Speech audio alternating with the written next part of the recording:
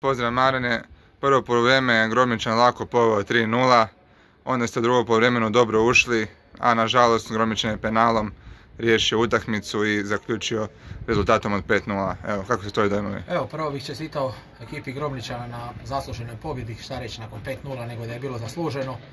Znali smo kakav je Grobnik, igramo s njima već dugi niz godina, da su opasni iz prekida, iz centaršuteva i nažalost to nas je koštalo. Prvi gol Slobodnjak, drugi gol e, centaršut iz prekida, treći gol individualnosti i kvaliteta Pilčića.